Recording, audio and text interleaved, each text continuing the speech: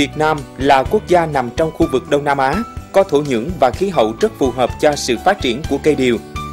Đến đầu những năm 90, ngành điều Việt Nam thực sự khởi sắc và đến nay nước ta đã vươn lên trở thành nước xuất khẩu hạt điều lớn nhất thế giới. Sớm nắm bắt được tiềm năng và vận hội đó, trong nhiều năm qua, công ty trách nhiệm hữu hạn Hoàng Phúc có trụ sở tại tỉnh Tây Ninh đã không ngừng tập trung khai thác nguồn lợi từ cây điều và đã gặt hái được những thành quả to lớn.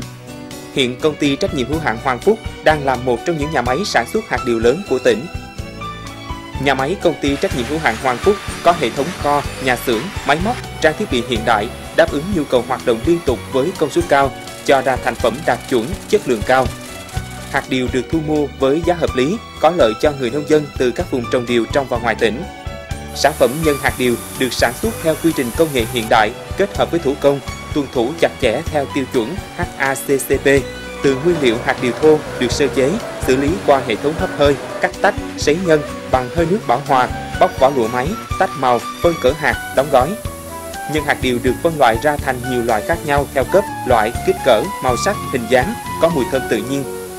với công nghệ ngày càng được cải tiến và nâng cao, sản phẩm nhân hạt điều luôn đảm bảo và ổn định về mặt chất lượng, đảm bảo an toàn vệ sinh thực phẩm, phù hợp quy chuẩn của Bộ Y tế, tiêu chuẩn AFI của Mỹ. Sản phẩm hạt điều của công ty Hoàng Phúc được chế biến hoàn toàn từ hạt điều tự nhiên, là loại thực phẩm có giá trị dinh dưỡng cao, tốt cho sức khỏe, không ngừng được xuất khẩu qua các thị trường lớn như Mỹ, Trung Quốc, Canada, Hà Lan, Úc, góp phần tích cực trong việc phát triển diện mạo của ngành chế biến nông sản tỉnh Tây Ninh nói riêng và ngành điều cả nước nói chung. Với ý thức coi trọng, đề cao vị thế của người lao động, ngoài việc tuân thủ nghiêm ngặt các quy định pháp luật trong sản xuất kinh doanh, công ty Hoàng Phúc còn không ngừng chăm lo cho đời sống vật chất tinh thần của anh chị em công nhân, tạo tình thân ái trong toàn thể công ty, tạo giá trị cốt lõi sâu xa trong kinh doanh.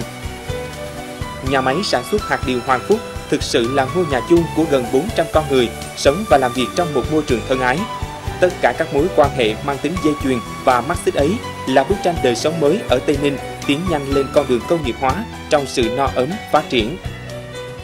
Tôi đã làm việc ở công ty Hoàng Phúc được 3 năm. Trước đây tôi đã làm việc ở nhiều công ty khác. Nhưng khi đến với công ty Hoàng Phúc, tôi nhận ra đây là một môi trường làm việc rất chuyên nghiệp, hòa đồng, ngoài các chế độ lương, hưởng. Công ty rất quan tâm tới an toàn lao động và sức khỏe của công nhân. Xin cảm ơn ban giám đốc công ty rất là nhiều. Tôi hiện nay là công nhân của công ty Hoàng Phúc và đã gắn bó với công ty 5 năm. Trong 5 năm qua, tôi rất hài lòng với những quy định và chế độ đãi ngộ của công ty. Công ty luôn quan tâm đến đời sống của công nhân, tặng quà vào những dịp lễ Tết, ngày sinh nhật và dịp đặc biệt khác.